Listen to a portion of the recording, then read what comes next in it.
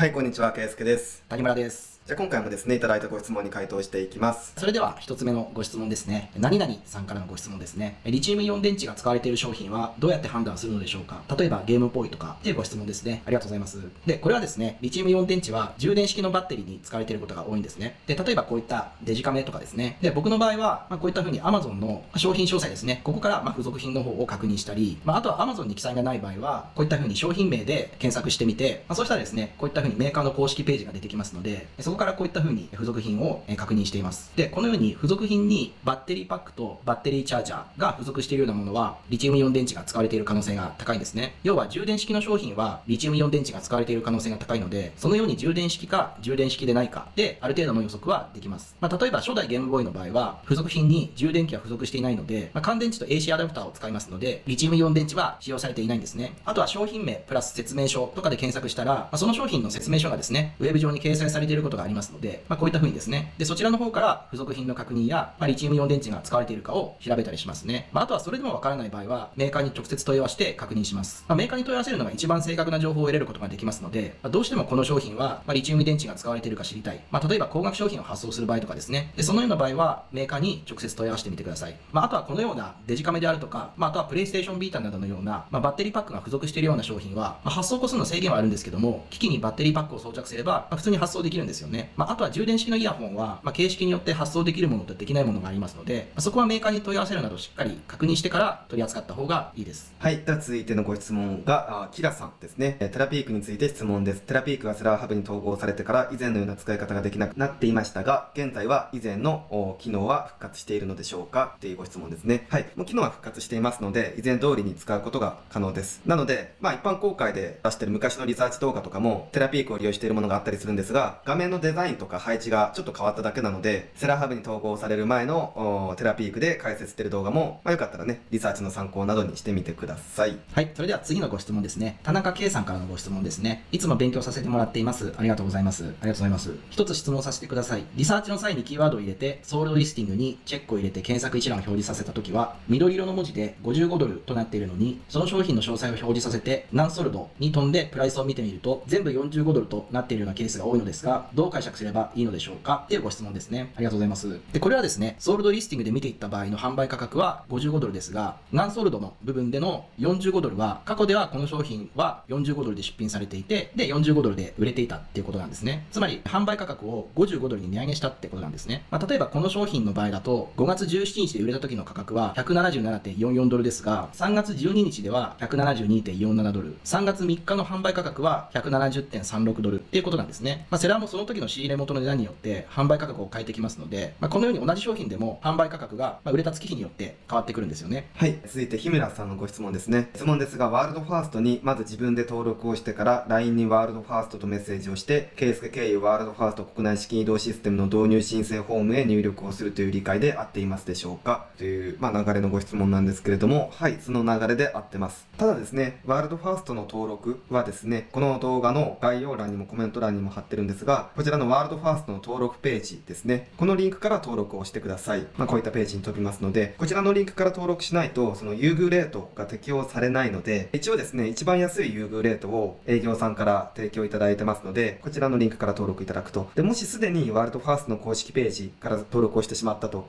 いう場合はですね、ワールドファーストの方にちょっと連絡をして、ケイスケさんの優遇レートを適用してほしいと伝えてもらえれば大丈夫なはずです。ケイスケところで通るように営業さんには言ってるので、っていう感じですね。はい、えーでは続いてのご質問ですね。キラさんからのご質問ですね。で、コメント失礼いたします。コロナショックで日本郵便のアメリカ宛て荷物引き受け停止から eBay 輸出を休んでいたのですが、DHL のアカウントがやっとできたので再開をしようと思っています。今年1月から eBay 輸出を始めたばかりの初心者なのですが、発送除外国の設定を一気にコロナショック前の状態に戻していいのでしょうかアドバイスなどありましたらお聞かせください。っていうご質問ですね。平さん DHL と契約できたんですね。うん。いや、よかったですね。うん。で、この発送除外国設定を一気にコロナショック前の状態に戻していいのでしょうか？っていうところに関してなんですけども、とこの動画を撮影しているのが5月21日なんですけども、今日ですね、eBay Japan の方からこういったメールが届いたんですね。で、一応メールの内容なんですけども、と日本郵便の配送問題によるキャンセルオーダーにつきましてっていうタイトルでメールが届いてまして、で、内容なんですけども、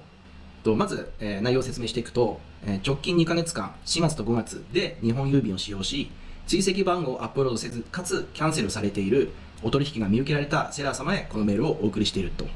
で、現在新型コロナウイルスの影響に伴い、ま、キャンセルオーダーなどに対してセラー保護を設けておりますが、ま、今後セラー保護が終了するとアカウントパフォーマンスへの影響、またアカウントに対して措置が取れる場合があります。っていうことなんですね。で、その現状と把握と課題を整理して、今後の対策を、え、行ってくださいと記載されてるんですね。で、その下にさらに、えー、詳細に関して記載してありまして、ちょっと読んでいきますけども、えセラー様に日本郵便での国際配送が滞っているという再認識をしていただき、この状況において日本郵便で未だ配送設定し、キャンセル対応していらっしゃる件について、注意喚起を行っておりますと。で、現在対策がない状況で販売活動を行い、かつそれらを不当なキャンセル理由で対応している可能性がございますことも見受けられます。この状況下で配送ができないことを認識しているにもかかわらず、そのようなキャンセルを取り扱うことは、eBay ではとても厳しく取り扱われ、アカウントに影響する可能性もございますとっていう、まあ、注意喚起の、えメールなんですけども、で、その下に、まあ、現状課題対策ということで、えまず現状が、まあ、日本郵便にて配送できない、または遅延が起きている地域がある。まあ、これが今の現状の一つ目ですね。で、あとは、え先ほどメールに記載してあった4月と5月間にて追跡番号をアップロードせず、ま、キャンセルした取引が見受けられると。で、現在の配送状況の課題に関しては、まあ、配送がまずできない。プラス、配送引き受け一時停止対象国に追加される前に発送した商品が返送され、まあ、その影響でキャンセルが増えているというのが課題ですよと。で、それに対しての対策を、まあ、DHL、FedEx、UPS などですね、まあ、そこのクーリエを使用していくというのと、あとは、ストアバケーションの設定も検討していくと。あとは、シッピングポリシーを修正してくださいと。で、もう一つが UK など、まあ、日本郵便を使用し配送できる地域もあるので、そちらのサイトにアカウントを作って販売していってくださいと。まあ、っていう内容なんですね。っていうことですね、まあ、このメールにも記載してあるんですけども、今まで僕たちが推奨してきたですね、商品が売れた後に DHL などの追加送料を促していく方法が、まあ、実質できなくなってしまうんですね。っていうのも、まあ、追加送料の支払いを断られたバイヤーさんは、まあ、バイヤー都合でキャンセルするんですけども、まあ、その場合だとこの eBay Japan が言っている4月と5月間にて追跡番号をアップロードせず、キャンセルした取引があるっていうところに該当してしまうんですよね。で、一応 eBay Japan からのメールにも、新型コロナウイルスの影響に伴い、キャンセルオーダーなどに対してセラー保護を設けておりますが、ということは明記してあるので、4月20日まではセラーのアカウントは、ま、保護されるんですけども、ただですね、こういった注意喚起のメールが来た以上は、今のうちからこの追跡番号のアップロードなしでのキャンセルオーダー、つまりはこれは追加送料を促したバイヤーさんへのキャンセルも該当しますので、ま、セラー保護期間中でも、ま、キャンセルが多ければアカウントに影響が出る可能性もあるかもしれないですよね。ですので、ま、僕たちも今後は DHL や FedEx などのクーリエ基準でのシッピングポリシー設定をしていきます。で、今後はそのクーリエ基準の送料設定に沿ったノウハウ動画を上げていくようにしますね。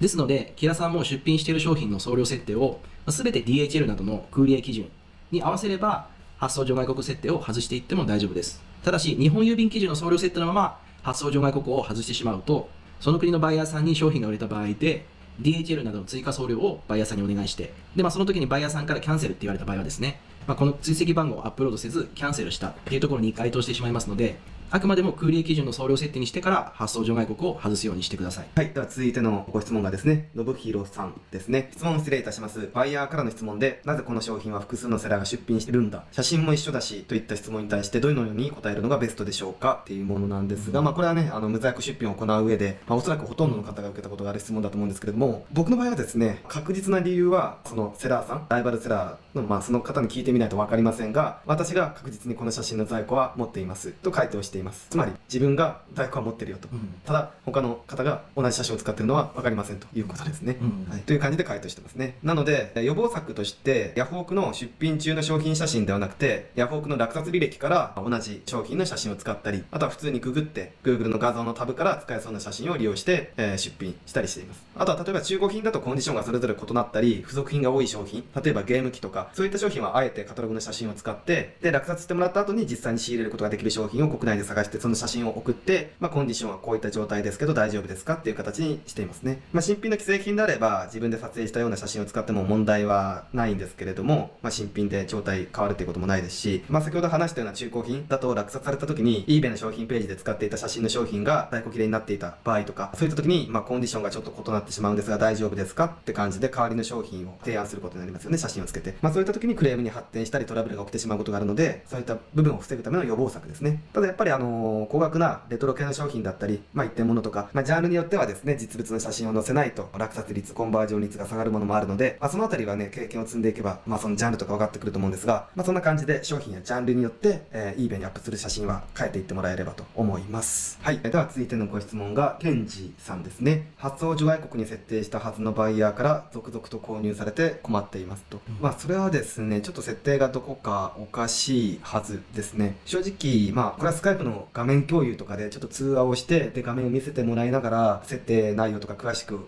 確認しないと確実な原因を探るっていうのは難しいので、そうですね、口頭で回答が難しいんですけれども、ちょっと一度ですね、シッピングポリシーを作成し直してみてもらえればと思います。で、送料設定に関してはですね、こちらの動画ですね、の5分20秒頃から、えー説明しています。まあ、一応、あこの動画のリンクはコメント欄に貼っておきますね。で、この動画でも話してるんですけど、サイトプレフェレンスのエクスクルードシッピングロケーションから一括で除外国を設定しても、すでに作成していた既存のシッピングポリシーには、その除外国は反映されないので、この動画でもまあ実際そのあたりも話してるんですが、まあ、原因として考えられるのはそのあたりとかですかね。まあ、なので一度こちらの動画を見ながらシッピングポリシーの再作成をしてもらえればと思います。はい。で、同じく、ケンジさんからのご質問ですね。追跡番号を登録しないで、キャンセルすることが多い。バイヤー向けの注意メールが eBay から届きました。っていうご質問ですね。ありがとうございます。これはですね、先ほどの質問でもお話しした、まあ、この eBay Japan からのメールですね。で、先ほどもお話しさせていただいたように、このメールは4月と5月で日本郵便を使用し、追跡番号をアップロードせず、